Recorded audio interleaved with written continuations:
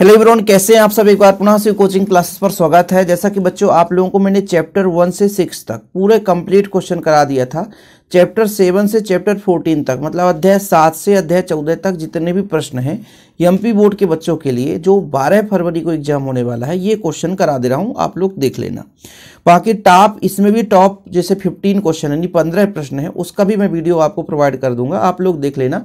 Play में मिल जाएगा बच्चों, इसके पहले भी मैंने दिया था तो आप लोग जो इंपॉर्टेंट क्वेश्चन का प्ले बना दिया हूँ, उसमें आप देख लेना। पहला प्रश्न है बच्चों, प्रत्यवर्ती धारा के वर्गमध्य मूल मान का व्यंजक है दूसरा प्रश्न है, ये दो दो नंबर में पूछ दिए जाते हैं ना। चोक कुंडली कैसे कहते हैं? इसका सिद्धांत, प्रत्यवर्ती धारा दिष्ट धारा में अंतर। ये सारा रिवीजन भी करा चुका हूँ मैं। ठीक है, जब बच्चों एक धारा परिपथ में संधारित्र जुड़ा हो तो इसके लिए आपको थ्योरम निकालना है, आरेख बनाना है, धारा, कालांतर और एक धारती प्रतिघात निकालना है। ट्रांसफार्मर का संरचना सिद्धांत कार्य विधि। यह प्रश्न बहुत ही महत्वपूर्ण है, क्योंकि ट्रांसफार्मर के संरचना से, सिद्धांत से, कार्यविधि से क्वेश्चन आता ही है, इसके प्रकार से भी आता है। अपचाई ऊंचाई ट्रांसफार्मर में जो अंतर है, पूछा जाता है। एलसीआर परिपथ से क्वेश्चन बनेगा बच्चों। स्क्रीनशॉट ले लेना आप लोग। डायनेमो ठीक है, यहाँ पर लिखना डायनेमो ठीक है बच्चों। डायनेमो क्या है? प्रत्यावर्ती धारा डायनेमो का नामांकित चित्र, सिद्धांत। बाकी औसत शक्ति आपको पढ़ने की ज़रूरत नहीं है। यहाँ तक आप पढ़ लेना डायनेमो इसमें भी सबसे ज़्यादा महत्वपूर्ण तीन प्रश्न है बच्चों। ट्रांसफार्मर, एलसीआर, डायनेमो, इसमें से एक क्वेश्चन आप देखने को, है ना, मिल ही जाएगा आप लोगों को। बाकी प्रत्यावर्ती धारा दिष्ट धारा में अंतर तो पढ़ ही लेना। जो चैप्टर एट है बच्चों, जो आपका चैप्टर एट है, उसमें दो दो अंक वाले प्रश्न है। उसको मैं रिवीजन करा दूँगा, इसलिए यहाँ पे ऐड नहीं कर रहा हूँ तो परेशान मत होना। वो आप दो अंक वाले वीडियो जा रहे हैं ना इस समय लगातार, उसी में आपका रिवीजन हो जाएगा, उसमें चार छः क्वेश्चन। इसमें परावर्तन किसे कहते हैं, संयुग्मी फोकस किसे कहते हैं?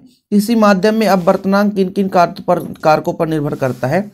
अपवर्ती, परावर्ती, दूरदर्शी पर अंतर खगोली और सरल सूक्ष्मदर्शी पर अंतर। सरल सूक्ष्मदर्शी और खगोली दूरदर्शी में अंतर। अब यहाँ से देखिए क्वेश्चन महत्वपूर्ण है। परस्पर संपर्क में रखे दो पतले लेंसों के संयोजन के लिए फोकस दूरी, लेंस निर्माता सूत्र और आपका लेंस सूत्र प्रिज्म के पदार्थ के लिए वर्तनांक सरल सूक्ष्मदर्शी की आवर्धन क्षमता। सरल सूक्ष्मदर्शी की आवर्धन आवर्धन क्षमता। काफ़ी महत्वपूर्ण है, ध्यान रखिएगा। संयुक्त सूक्ष्मदर्शी की आवर्धन क्षमता। जब वस्तु स्पष्ट दृष्टि की न्यूनतम दूरी पर हो और जब वस्तु, है ना, प्रतिबिंब जो है, वस्तु जब स्पष्ट दृष्टि की न्यूनतम दूरी पर हो बच्चों, और जब प्रतिबिंब अनंत पर बने, है ना ये दो कंडीशन पर पूछा जाता है। दो में से एक भक्का आएगा, इसलिए मिस मत करना, तैयार कर ही लेना। आगे चलते हैं। चैप्टर टेन के हम थोड़ा ही क्वेश्चन दे रहे हैं। व्यतीकरण किसे कहते हैं? ठीक है बच्चों, व्यतीकरण किसे कहते हैं? ये आवश्यक शर्त लिख लेना। कला संबद्ध स्रोत से क्वेश्चन पूछ दिया जाता है। थोड़ा कला संबद्ध स्रोत पढ़ लेना। प्रकाश का व्यतीकरण और विवर्तन में अंतर, ये आप लिख लो। व्यतीकरण और विवर्तन में अंतर। हाइगन के द्वितीय तरंगिकाओं का सिद्धांत। तरंग का, तरंगाग्र से आप क्या समझते कितने प्रकार का होता है। इससे कम क्वेश्चन इसलिए दिया हूँ, क्योंकि ये जो चैप्टर टेन है और चैप्टर नाइन है, ये अथवा में ही रहते हैं। तो इससे कम क्वेश्चन देने का कारण यही है कि चैप्टर नाइन यदि अच्छे से तैयार है तो चैप्टर टेन आप थोड़ा बहुत कम करोगे तो भी चलेगा। अब बच्चों, ये मेरे हिसाब से सिलेक्टेड प्रश्न है। आप लोग तैयार करोगे ही करोगे। बाकी इसके अलावा भी जितना तैयार करना है, कर सकते हैं। वो आपकी मर्ज़ी है। ठीक है, डी ब्रागली तरंग किसे कहते हैं? इसका तरंग समीकरण, द्रव्य तरंगों की विशेषताएँ, निरोधी विभव से आप क्या समझते हैं? तापानिक उत्सर्जन क्या है? देहली आवृत से आप क्या समझते हैं?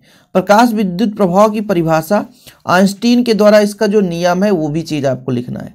प्रकाश विद्युत प्रभाव का नियम लिखकर देख सकते हैं। यहाँ पर आइंस्टीन का समीकरण आप लोग पढ़ लेना। इसमें डी ब्रॉगली समीकरण, आइंस्टीन समीकरण, दो ही तो थ्योरम है।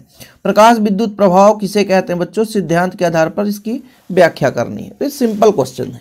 बहुत ही सिंपल क्वेश्चन है, ठीक है? आगे चलें बच्चों। आगे चलते हैं। बोर के परमाणु मॉडल की कमियाँ, ठीक है? बोर के परमाणु मॉडल की कमियाँ। बोर के मॉडल के प्रमुख अभिग्रहित रदरफोर्ड का परमाणु मॉडल। बोर की कक्षा को स्थायी कक्षा क्यों कहा जाता है? यदि परमाणु में इलेक्ट्रॉन स्थिर हो जाए तो क्या होगा? ये सारे क्वेश्चन मैंने करा दिए हैं। इसके बाद जो लास्ट चैप्टर होता है बच्चों, ये जो अर्धचालक युक्तियाँ इससे बहुत ही मज़बूत क्वेश्चन पूछा जाता है ना? चलो तो यहाँ पर पहला जो है आप देख सकते हैं, निज अर्धचालक और बाह अर्धचालक में अंतर। पीएन संधि डायोड क्या है? डायोड का अग्र अभिनत का रूप किस प्रकार से होता समझाना है। ये अग्र अभिनत और पश्च अभिनत, दोनों पढ़ना, ध्यान रखना, ठीक है? अग्र अभिनत और पश्च अभिनत, दोनों। अब देखो बच्चों, पीएन संधि डायोड का अर्ध तरंग दिष्टकारी रूप और पूर्ण तरंग दिष्टकारी, ये दोनों प्रश्न पूछा जाता है। अर्ध तरंग दिष्टकारी रूप और पूर्ण तरंग दिष्टकारी रूप। दिष्टकारी किसे कहते हैं?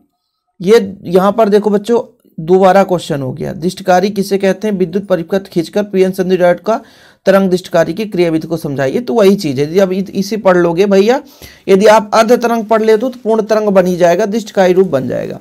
एन और पी प्रकार के अर्धचालक में अंतर। और जो आपका चैप्टर थर्टीन है, इससे दो चार क्वेश्चन दे दिया हूँ। नाभिकी विखंडन क्या है विक्रिया को समझाइए। बाकी ध्यान रखिएगा, मैं दो दो अंक वाले क्वेश्चन रिवीजन करा रहा हूँ। तो प्लीज़ यार चैनल पे पहली बार चैनल को सब्सक्राइब कर लें प्लेलिस्ट वीडियो में देख लो। नहीं तो बाद में कहोगे, सर, और क्वेश्चन आपने कराया नहीं। हम वहाँ पे रिवीजन करा रहे हैं, लगातार रिवीजन करा रहे हैं। नाभिकी विखंडन क्या है? अब क्रिया दीजिए। नाभिकी बलों की दो महत्वपूर्ण गुण लिखिए। समस्थानिक संभारिक को समझाइए। नाभिकी विखंडन और नाभिकी संलयन में अंतर लिखिए। ये क्वेश्चन है बच्चों। इसके चार ही क्वेश्चन दिया हूँ। ज़्यादा क्वेश्चन हम दे भी नहीं रहे ना। है ना? ज़्यादा क्वेश्चन नहीं दे रहे हैं। आपको परेशान करने नहीं, भैया। ठीक है? बाकी वीडियो पसंद आए तो लाइक करके शेयर कर दो। चैनल पहली बार आए बच्चों चैनल को सब्सक्राइब कर लो। ऐसे वीडियो हम आप लोगों के लिए हेल्प करते रहेंगे। हिंदी मीडियम से हैं, बहुत सारे बच्चे कहते हैं, सर इंग्लिश मीडियम का। तो इंग्लिश मीडियम का क्वेश्चन दूँगा। अब कल सुबह आपको मैं बच्चों दिखा दूँगा कौन कौन से प्रश्न है। टिक लगा के बता दूँगा। आप लोग तैयार कर लेना। ओके ठीक है? जय हिंद, वंदे मातरम।